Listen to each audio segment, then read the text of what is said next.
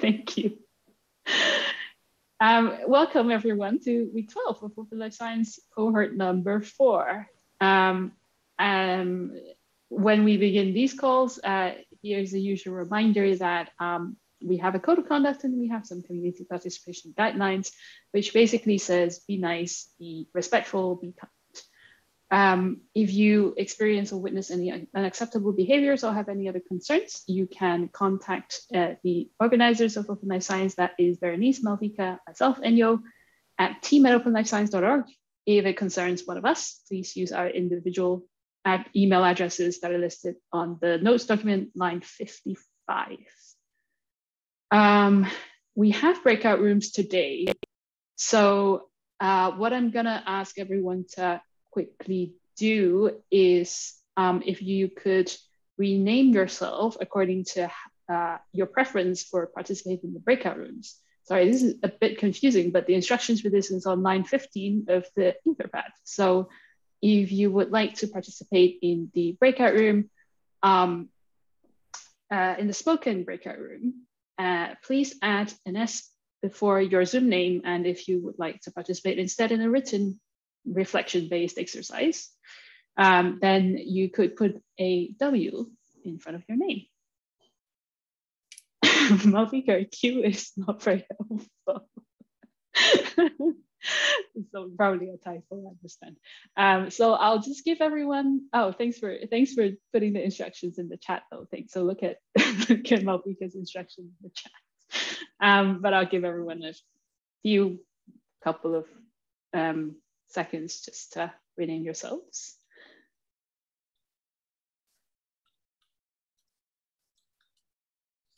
Okay, um, I see most folks have done that. So thank you for doing that. Um, and it will really help us sort you into breakout rooms later.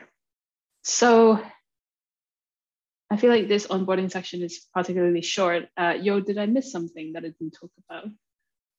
Nope, you've just gotten so used to it that it just flows. Always good to double check. Well, um, so that's all the housekeeping for today. But so without further ado, we'll head straight into a very um, a topic that is really important, very close to our hearts at OLS, um, diversity and inclusion. And um, with that, we also, uh, as the second part of this call, we'll be doing uh, something called an Ally Skills Workshop. Um, you'll hear, you'll learn all about what that is later, and you'll get a chance to participate as well. Um, so uh, we're going to start off today um, thinking about sort of our roles as open leaders. So as we um, build open projects for research um, and our other dreams and visions, um, we want to make sure that we build those projects to empower others to collaborate within our um, inclusive communities. So for that, we'd love you to take um, five minutes to reflect on what that means to be in an inclusive space and to participate in an inclusive community.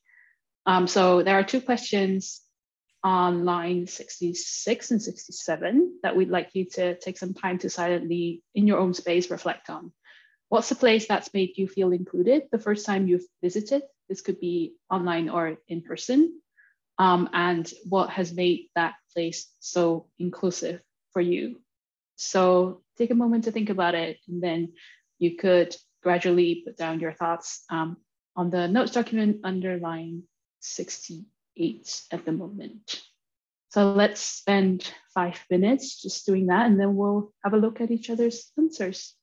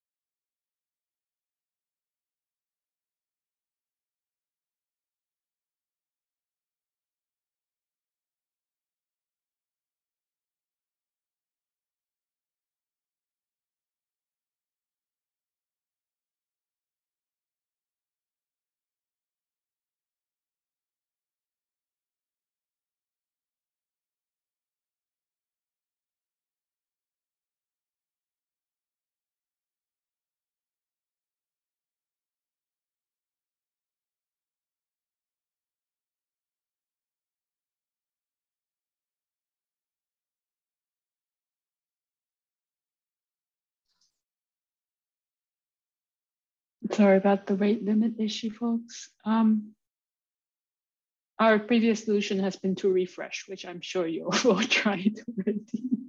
but I hope you've um, you're still managing to read and type some, write down some things. Um,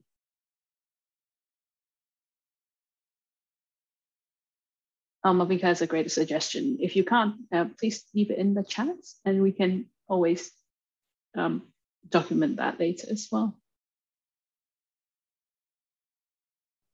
Yeah, I, I don't know if it would help. It's certainly not the best uh, interaction option possible, but I wonder if, if typing it on, you know, like a notepad and then pasting it in would be any better or not. I'm not sure.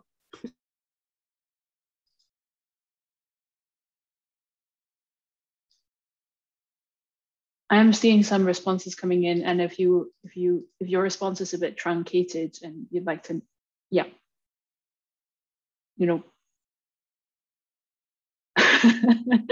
you'd like to you'd like to have your answer uh, written up, then um, yeah, I guess this yeah, if we if you could either type that in notepad and move it over, or type it in the Zoom chat and we can move it over. I guess that's that's what we can manage now. Um, but but we will keep an eye on the situation and and try and see what we can do about next time. But meanwhile, I have I'm seeing a lot of colorful answers coming in. Um, so I wonder if um, if anyone would like to share um, by unmuting themselves directly.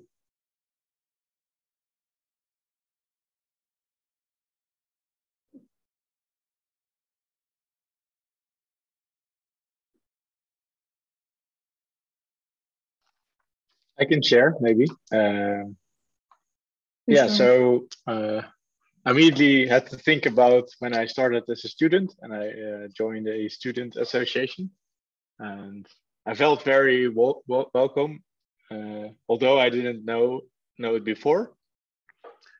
And I think uh, what made it so inclusive uh, was that uh, it was actually founded with having an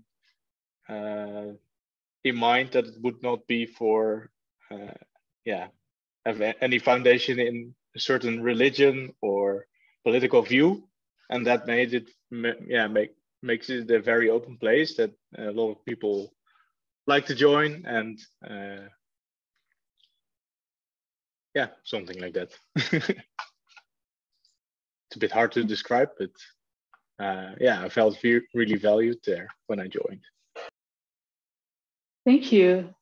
Yeah, so feeling valued is is one of those things that I also see here. Alejandro has written that for the Turing Way as well. Feeling valued as being part of that community. Um, um, Esther says similarly for the Turing Way and for all OLS. Thank you. Valuing all the contributions um, and the, the, time that everyone is spending to build towards something that um, also i think aaron you also mentioned you know about you know the the um there's no sort of prerequisites or, or hurdles there as well. No judgment on, on where you've come from. So esther said this as well. Um and and i see um that this has resonated um, in this group which is great to see. Um anyone anyone else would like to share their experience I can share perhaps. Go ahead, Eva. Um, so maybe a brief explanation because uh, I already insert uh, my input uh, to the file. So one, one of my uh, role is uh, the observer to the International Commission on the Protection of the Oder River. Uh, when I'm observer from the non-governmental organization side. Um, and usually we observers are kind of kind in um, opposition to the um, at least partly to the to the official positions of the government's representative. So you can imagine that sometimes uh, can be uh, quite tricky to be uh, to be observer. Mm, but uh, I remember when I joined uh, to the um, to the commission, um, it was very I mean, it, it was very pleasant for me because they uh, they assured that uh, and they showed um, that uh, despite we may have like argue like uh, different uh, points of view, uh, etc. that's the, place and the um, the people are um, their representatives. It, that's it's like safe and open-minded and uh, ready to um, take in uh, the counter arguments uh, and they expressed it like in in being um, respective and uh, making my contribution visible. So that was uh, one of the cases. Uh, I think it's worth to bring it up because it's not it's not always work like that and that's it's really good case definitely thanks for sharing that eva i think that's a very nice that yeah really really nice to hear that example because especially when you have you know sort of obviously contradicting backgrounds yeah. and viewpoints being open-minded and and being willing to listen and really empathize is like in your case is really shown to be so powerful exactly. um and and I really love that example for that reason. It's really Thanks. really hard. I would love to learn how to build this type of spaces. um, yeah, and yeah, lots of lots of great sharing um, stories here, folks. Um, if you if you read through these, so inspired, and the world just seems like a much better place for me right now, which is really really great. Um, um, such a warm feeling. Um, but yeah, uh, also a lot of you mentioned, you know, people, uh, community organizers, or other community folks in the community who's taken really that extra step to make newcomers feel welcomed and on board people.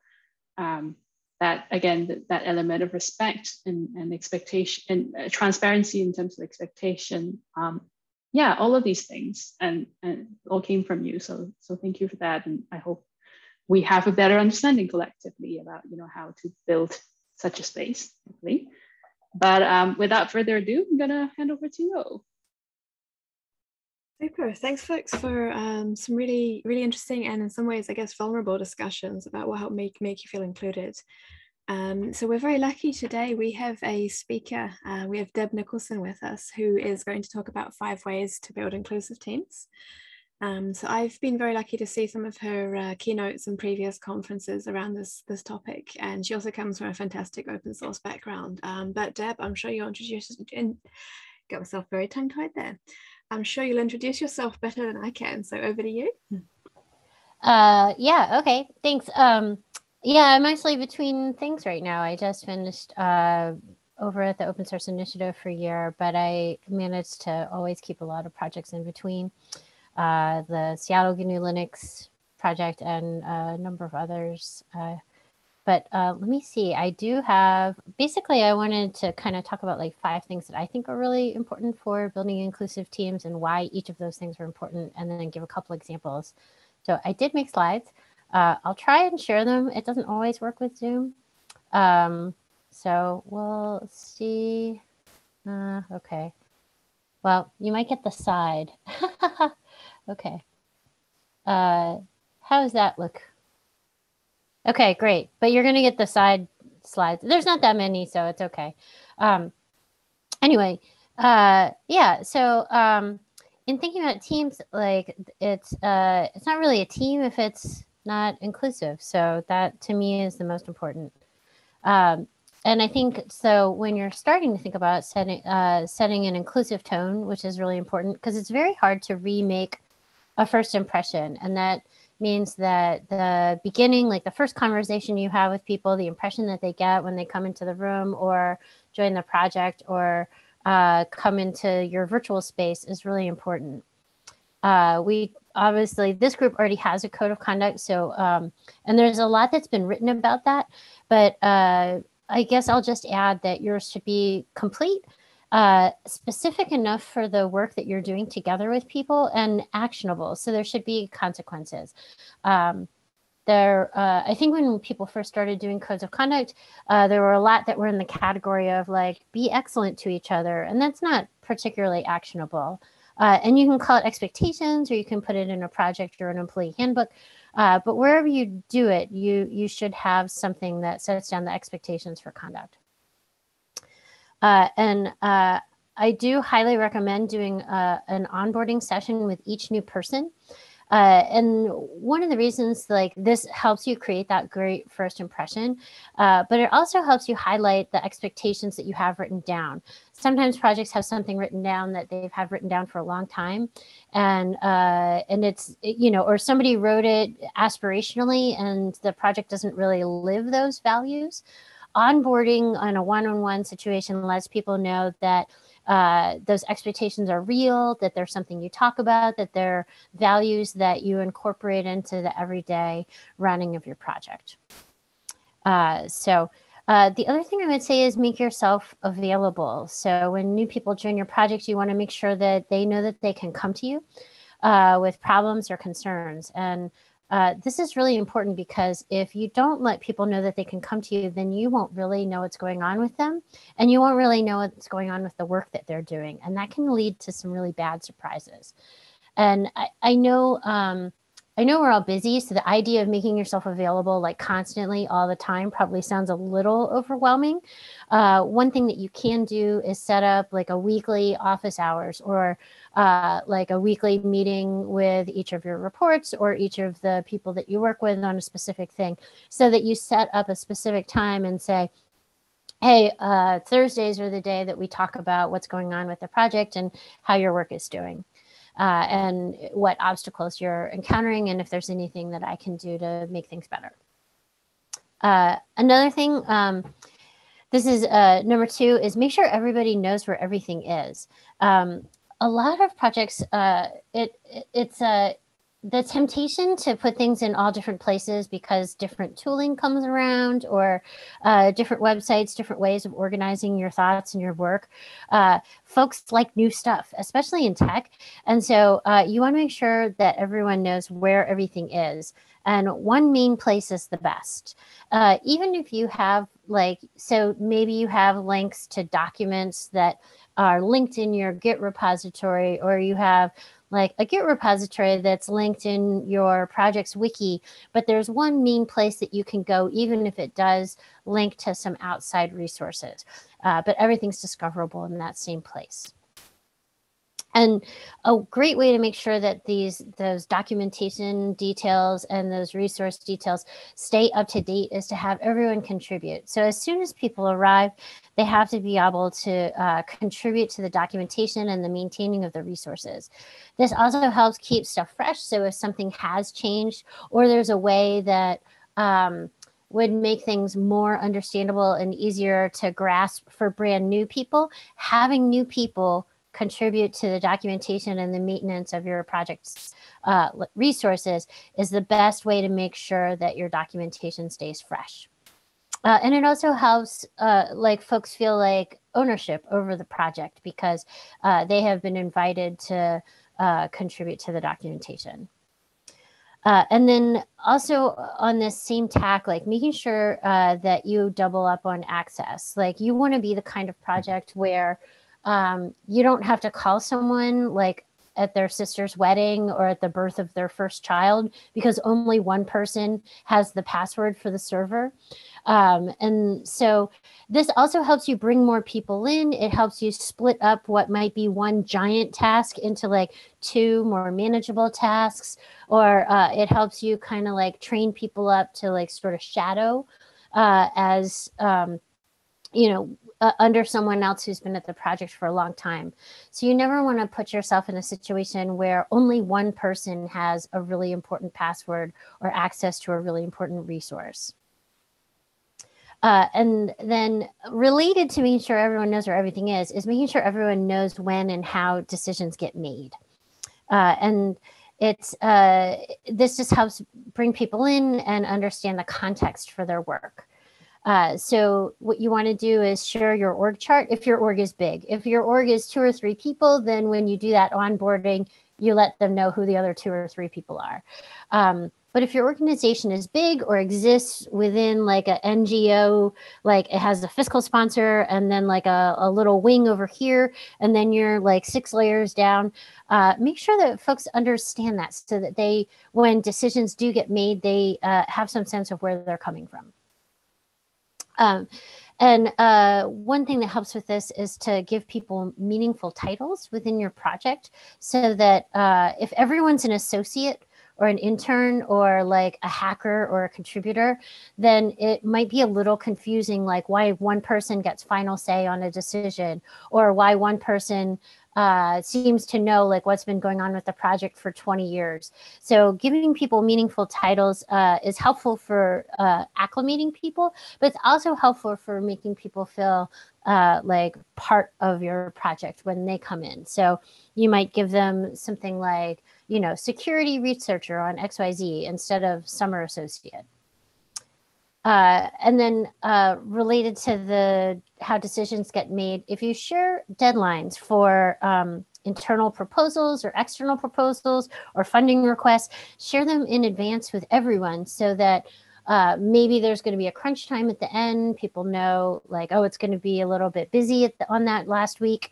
Or if they are working on research or data that's going to go into that proposal, they understand where the deadline's coming from. Uh, really, less prizes and more ownership over the overall venture is going to help you get people doing the right thing, feeling like they know what they're doing, and um, contributing in a good, meaningful way. Uh, and then number four, uh, make mistakes okay. Because um, people are definitely going to make mistakes. I promise you. They're going to overestimate timing. They're going to underestimate timing. They're going to lose stuff. They're going to misunderstand stuff. They're going to delete stuff. If you have a repo, that's good. But um, it's and it is good to make it so that people can like things can be rolled back if people accidentally delete large stuff. But people will make mistakes. Um, and you really want to make it okay as much as you can model making mistake making okay uh, you should do it uh, and then when people do make those mistakes, you want to help them learn from those mistakes. Uh, it's just, it's uh, like the sooner people get over the like, oh, I'll never make a mistake and and find out like, ah, you make a mistake and then you learn from the mistake, uh, the better off they're going to be. And it also, you know, it, it, it helps them kind of feel uh, like, oh, I can be a human being. Like, we're not all perfect here, and that's okay. Uh, and just to really hammer this in, if people are terrified, uh, then they're going to hide their mistakes. And then you're going to find out, you're going to find out eventually, like six months later, and it'll be like, why didn't you tell me? And it's like, oh, I was terrified. Uh, and so uh, you really want to make it okay for people to say when they're confused or they don't understand or they've made a mistake or they've forgotten something or they've missed a deadline or they deleted something. And then number five on building inclusive teams is celebrate your wins. Um, people forget this one because it seems like, oh, we have so much work to do. Let's get to the next project. But it's really important to celebrate your wins with your team. Uh, like with the whole team, with everyone, not just like, uh, you know, the folks who did code, but everyone who contributed documentation or time or other resources to your project. Like maybe someone gave you advice on how to get a grant uh, to do your work. every single person who is part of your success should be thanked for their success. Um, and so that means if you do public thanks, like if you do a blog post or if you do uh, release notes or you do a conference talk about uh, the work that you've accomplished, uh, you should put everyone into your public thanks. And if you're not doing public thanks yet, then make sure you make uh, your rounds for internal thanks. So, um, and sometimes this takes the form of like a small gift, or maybe it's a big group email where you list everybody's uh, work and thank them for it. Uh, small gifts that you might consider would be like something like a gift certificate or like uh, like a funny T-shirt or something that people could keep on their desk uh, that just reminds them that you appreciate their work. So uh, I would be happy to take some questions about how this uh, connects to your work, and I'm going to stop sharing because I think I think I never did quite get that. The oh no, all right. All right. How's that? Excellent. Um, cool. So I would be happy to take questions from people on this. Um, I don't have a team right now, but if you want to come work with me at the Seattle GNU Linux Fest, we'll start organizing on that in February. And that's uh, going to be a hybrid virtual in-person conference in Seattle. Amazing. So. Thank you so much, Deb. Uh, so we've, we've had a few um, Zoom Zoom emoji claps, but I'll, I'll, I'll offer a silent one. Oh, okay. from ears from here as well. Um, we have a couple of questions through on the Etherpad. Oh, okay. Um, so Lizana asks, I'd love to celebrate wins with everyone, but I struggle to find ways to do this in the online world that will um, sound different from the work itself. Any suggestions? Yeah. Oh, that's interesting because uh, it can be kind of a bummer. Um, uh, everyone's sick of Zoom, right? Um, but sometimes you can just put it on the schedule, like on the agenda at the end of the meeting. Um, one thing that I've seen, like people do something kind of goofy, like, hey, everyone bring like your snack, or like, hey, can everyone wear like a hilarious hat? Um, let's see. Uh, we, um, I think sometimes like uh like I said like a gift card can be nice like even if it's not like a party but like uh you know sending people like a, a gift card or something funny that has like the project logo on it. Um like my husband has this thing. He it's probably like a 20 year old shirt but it's got a really weird picture of like a worm genome diagram on it. It like makes no sense to anyone else. But he worked on it like probably like as a graduate student and he still wears it and people are like, "What's with the and he's like, "Oh, it's I like I worked on this worm genome project like uh, and so it doesn't necessarily have to like you don't have to necessarily try and um, recreate the office holiday party I would bet you that more people than you would expect in this call probably can look at that one genome and understand what it is because we probably oh. have quite a few life scientists here. Um, that might be this might be the only room where that's the case. I note um, Eva has her hands up. Yeah, just in case of the example of celebration, because um, me and my organization, Coalition Clean Baltic, we did even uh, like uh, online Christmas party. I know that it, uh, it might sound weird, but um, we did some like uh, funny exercises. Uh, we brought some um, like funny clothes or other stuff uh, to make it like feel more uh, Christmassy and more friendly, warm, etc. Uh, we made uh, even some uh, like goofy dances uh, before the screen. So like all, all yes all, all range of uh, this kind of behavior. And i need to admit that i'm not a fan of online uh, live i prefer to be like you know face to face or but this has helped like to to keep going the uh, the atmosphere and uh, to bring people up despite the covid situation and other stuff yeah. so that's from me yeah i think maybe the for SeaGL the best social we did was a scavenger hunt where people uh, were asked to go get something from their house and it was nerdy stuff like their worm shirts or like you know, if they had a programming book that was more than 20 years old or something like that. So, okay. but yeah, go, was there, I don't want to leave a hanging, oh, the, the etherpad is uh, disappeared for me. So I don't know if there were other questions. There's one more from Emmy um, that I think we need to move on just in the interest of time. Uh, but Emmy asks, how can we hope, I don't know why I can't talk today. How can we help folks learn from their mistakes? Uh, yeah. So uh, that is a really good one. And it's one that a lot of people avoid because they're like, oh, it's going to be, I, they don't want to be the person that brings up people's mistakes. Um, and so uh, I think that uh, approaching it like, you know, or like in the, given the information you had at the time, I see how this went or like you know do you want to walk through it? And then you can get to that place where you're like all right given the information you had i can see how this went. Uh, let's talk about ways that would help support you better next time. Um, you know and like maybe another step where you send me a draft of something or whatever. Um, and then let people know that like you see a path forward to them contributing successfully like at, as they fix this thing and say like oh yeah well so if we could get the the formatting correct i think the work that you did was really great and i look forward to seeing it in the correct format next time.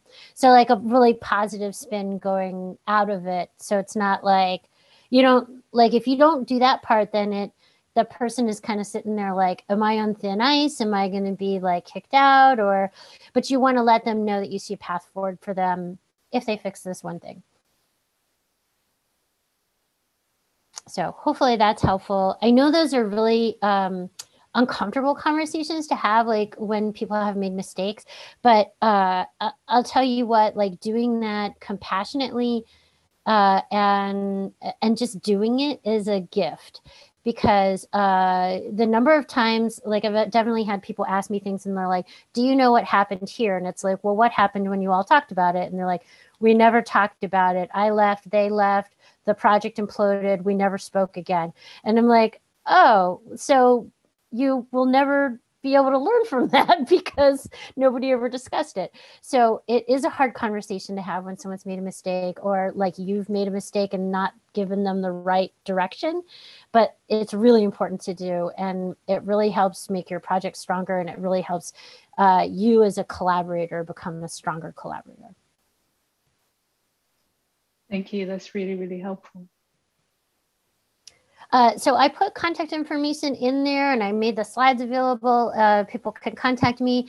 I'm probably going to scoot out because um, I've got some other stuff that I have to get to today. Uh, but it's been really nice to meet everyone and thanks so much for having me. Thank you so much and have a great day. We really appreciate it. Bye. Okay, cool people. We are moving on to part two of this call. Um, so normally we do our ally skills sessions in approximately three hours. Today we have approximately 50 minutes. It's going to be squishy. um, I don't know if we actually talked about who would kick off with the slides. Is that me, Emmy? Uh, okay, yep, looks like it is. Excellent. So let me just share my screen. Um, okay, and let's try desktop two. And then I'll put it into the share mode and get it onto the right slide. Uh, present. Come on. Do we see roughly what you'd expect to see on the moment? For me, it's missing the right the, the right half yeah i i noticed that as well okay that's just rude oh there we go okay are we good I've got thumbs up. Awesome. Okay, folks. Um, so the first thing that I'm just really quickly going to say um, is that when we're doing ally skills, um, if this is something that you're not bought into, um, it is okay to drop off. Uh, there's no need to complain, um, no need to argue or anything like that. Just drop off. Um, we, we won't hold it against anyone. Um, but if you want to be here and you want to participate, then we shall kick off. So um, we're aiming for roughly 25 minutes intro about what ally skills are. Um, and then we're going to break into groups to have some group discussions about this um, and try and squeeze in some Q&A um, at the end somehow if we are very, very speedy. So um, I'm just going to head straight into it and talk about technical privilege. And by technical, I mean not uh, specifically code, but uh, knowledge as well. So um, it could be, for example, um, related to me being a researcher or a scientist or some other type of skill that I may have that people give me privilege because of. Um, so it is, um, this is just one example of privilege, but I think one that's particularly common or likely to be one that we're encountering um, since we're all people who are interested in research in some way um, is that we often give um, assign people a label, so that because of this label, they are therefore more, more important to listen to whether or not they actually have expertise in this area. So, for example, as a researcher, um, I have expertise in my research. I do not have expertise in anything else apart from that research. Um, so, basically, just gent gently talking about privilege here, but we'll explain a bit more about what this means in a minute. Um, so actually, if you've been wondering what exactly ally skills are, then perhaps we should define these terms as well. Um, so we'll start with privilege, which I mentioned earlier. Um, privilege is an unearned advantage, um, which some people get, but not everyone, even though, um, yeah, basically it, it's an uneven advantage that not everyone actually is able to um, partake of. Sorry, I don't know why my words are getting so stuck today. Um, oppression is the systemic pervasive inequality um, throughout society, uh, typically one that benefits people who have privilege and um, gives less to people who do not have privilege. Has the side of my screen disappeared again? Yeah, okay, I don't know. Um, I think uh, my MacBook Air just does not like the idea of sharing a screen uh, on Zoom. Um, hopefully they'll come back. There we go. Um, another bit of terminology is a marginalized person, and this is a member of a group that is the primary target of a system of oppression. So often these are people who do not have as much privilege as others. Um, and an ally is a member of a social group that enjoys some privilege and works to end oppression and understand their own, own privilege. Um, so this is someone who actually recognizes that maybe that they've they have some privilege um, and doesn't want to just enjoy it but instead uses it for the benefit of others where they can when people do not have that privilege. Um, it's also worth mentioning these slides are linked to i believe in the etherpad so you can follow along is even if half of my screen disappears for no apparent reason. Um, so a really important thing to note is you can't just wear a badge that says I am an ally um, because being an ally is about actions and things that you do. You can't say, you know, I'm your ally if you're not actually behaving like an ally. Um, so you might notice a scenario and say, it's time for me to practice my ally skills right now uh, or to apply my ally skills. Uh, and that's a situation you are being an ally, but you can't just say it because without action, it doesn't mean much. Um, so examples of these, uh, this is a, um, somewhat uh, possibly more American specific example, but I think it's, it's it applies worldwide. Um, but a privilege is the ability to walk into a shop and have the owner assume that you're there to buy things and not to steal them. Um, whereas in some scenarios, let's say um, again specifically more more um, in the US than anywhere else, I think, um, but definitely not only. Um, people may assume that if you're black, you're more likely to be stealing something from that shop. Um, Whereas if you're white, you're less likely to have um, to suffer from that problem.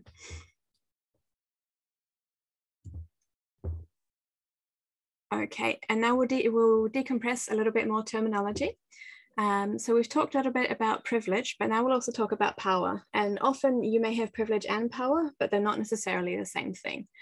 Um, so power is the ability to control circumstances or access resources and or privileges. Um, and another term that's very important is intersectionality. Um, so this is the recognition that actually you may be affected by multiple um, systems of oppression. So for example, it might be that you are um, Black and disabled, or that you mm-hmm. are um, queer and a woman, for example. So there's many, many different scenarios where one or two or three or four of these may combine. Um, and it tends to be that the more of these that are that you are affected by uh, is um, means that you face even more barriers than someone else. Um, and so after having de decompressed quite a few of these terms that we'll be using throughout this. Uh, we'll say, why are we focusing on ally skills?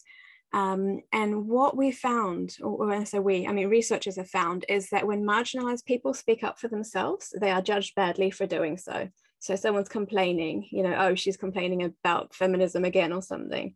Um, whereas if someone else stands up for them and says, hey, we shouldn't be sexist, they tend to look virtuous.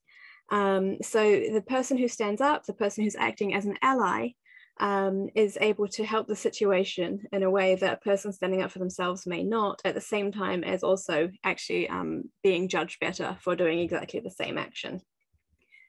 Um, and so an example here, uh, one that might be relatable, I think it was 2020 when uh, Timnit Gebru uh, was um, fired from work, working in Google for speaking up around ethics. Um, and it's very easy to believe that because she was speaking up for these kinds of issues, that that may be why she was fired as well.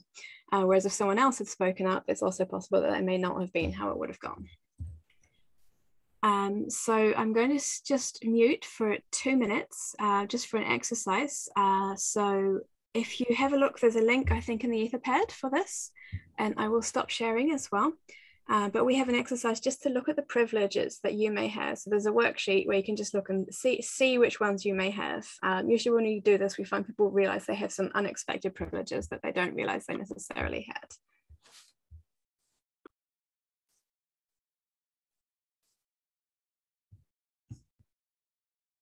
And thank you, Amy, for uh, posting that into the chat as well.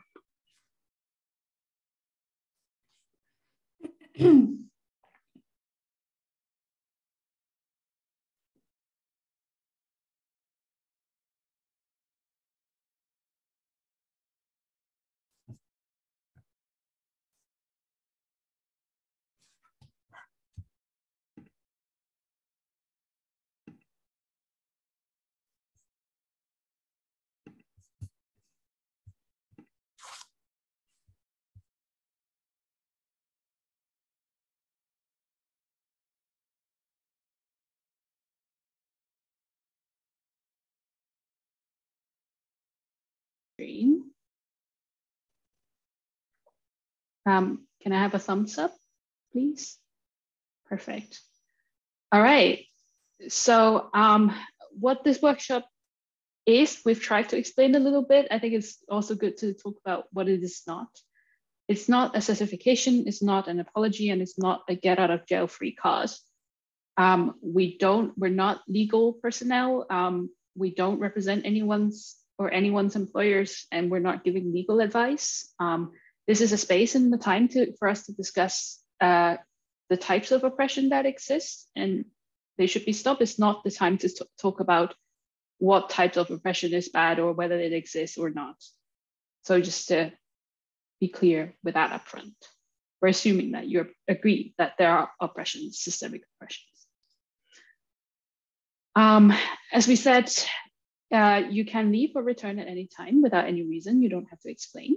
Um, it is recorded. um, but we will not record the discussion, uh, I believe, that we will have later. Um, but it is transcribed uh, via Otter for uh, those who are looking at the transcription.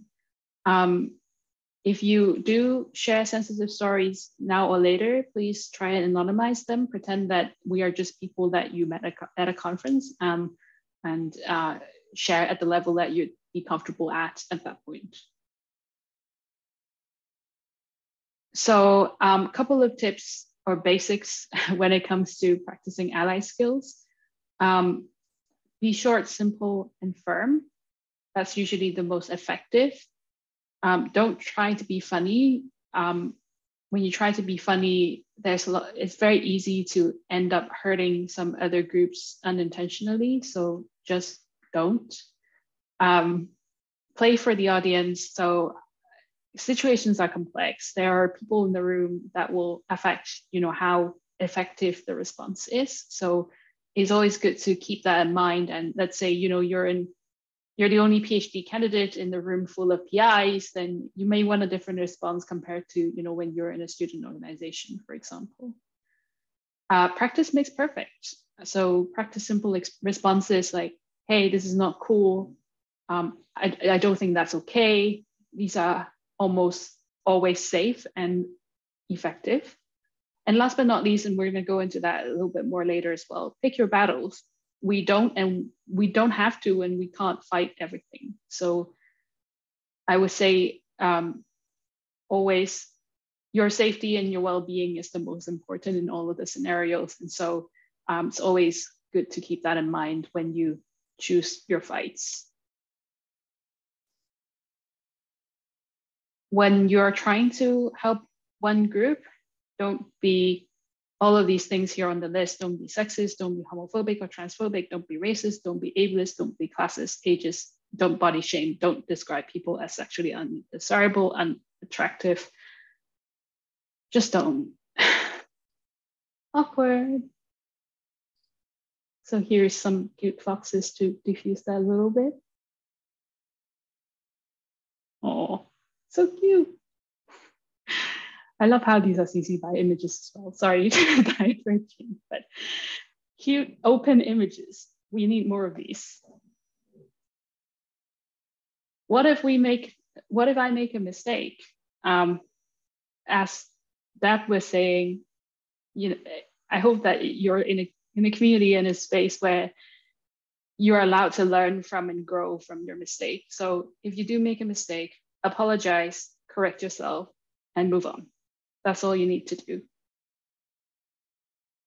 Um, I've made plenty of mistakes in the past. Um, so I was at a conference two years ago when I called someone who um, identified with the pronouns they, them uh, by gen gender pronouns that I just assumed.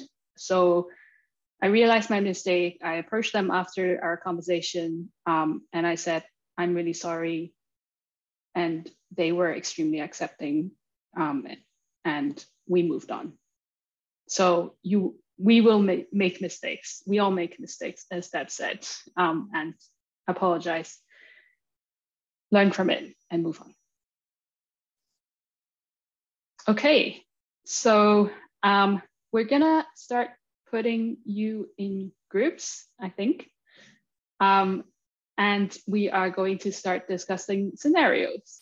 All of these things sounds a bit scary, so let me just take two minutes to walk everyone through. Um, so you will be, you we will be given, each group will be given a scenario. I think we have two scenarios that are gonna come um, and you will be given either one of them where you will be discussing the scenario in your group. So um, when you're in your group, introduce yourself briefly. Um, choose a moderator to uh, who will be in charge of paying attention to who are dominating discussions um, and try to invite others to share. Um, you can also, other, other people who are not moderators can moderate moderator. Um, it's also a good idea to take someone, to choose someone to take notes and report on what you discuss in this case, because um, we will be reporting out and sharing what we've discussed later. Um, you don't have to join groups, but yeah, we will, you will get the breakout room pop up, but you don't have to join if you don't want to. Okay, so what is a scenario? Um, I'm gonna come back to this in a bit. So a scenario is something that looks a bit like this. So this is an example. We're gonna walk through it. So uh, is an example uh, case or story. Um, so here at a meeting, a woman makes a suggestion, but no one picks up on it. Later on in the meeting, a man makes the same suggestion and then is given credit for the suggestion. So when you see this, when you see your scenario, what we'd like you to do is to um, focus on how someone could act on the scenario as an ally sorry, could act as an ally in the scenario, words, um, and not as the marginalized person. Um, so if you are not sure exactly what that situation is, or you have different interpretations between all of you within the group, then pick one um, and discuss that because otherwise you may end up with most of the discussion around, you know, but I don't interpret it the same way. So it's good to just pick one, settle on it, and discuss around that. There aren't any trick scenarios, by the way. So going back to our example, um, think about as an ally, uh, what would you do in this scenario? So for example, in this case, a response as an ally could be that uh, we'd like to we like to have in the meeting a moderator, a note taker, and a facilitator to make sure that um, people's contributions are or suggestions are recognized and is given credit for. I think previously when we discussed this scenario, there were also very great suggestions about um, powers of note takers and, and um, secretaries being the ones who document like who actually said what. So that's, that's a great role to have. And it's also something that you could discuss. Um, so I walked through that scenario really quickly. Sorry if it sounds really confusing, but you could say, for example, that it's really good to have facilitators, timekeepers, note takers, and moderators in a meeting. That's and a, a response that you could have as an ally. There are other ones. So I hope I haven't lost everyone by this point. Um, so as I discussed, as I described, um, we're gonna have two different scenarios, I believe. Um, you're gonna get told which one you're gonna do, I think, um, in your group. And I'm looking at Yo to see, yeah, rooms are ready. So uh, I see on the Etherpad that um, group one would be doing scenario three, and group three would be also doing scenario three, and group two will be doing scenario two. Okay, so all the numbers very confusing. Let's walk through what they are. The text is also on the Etherpad. So scenario two, what would an ally do in this case? A colleague of yours says it's great to hire more people of color, but let's not lower the bar. Before you can reply, another colleague says, oh yes, we'll be careful not to lower the bar. As an ally, what would you do? This is scenario two, so this is for group two. Um, and then, sorry, group three. And group one and three will discuss the scenarios, so scenario three. On a professional mailing list that you be belong to, a semi semi-famous colleague who came out as trans a year ago starts a discussion. In the response thread, another person repeatedly misgenders them by using incorrect pronouns. What would you do as an ally on the mailing list? So you will have, I believe, 20, 20 minutes? I think 20 sounds good, yeah. Great. Okay. Yeah, 20 minutes um, take your time, introduce yourself briefly, choose a moderator, choose a note taker, um, and walk through the scenario as you would as an ally. Um, and yeah, do we have any questions, confuse, confusions, concerns?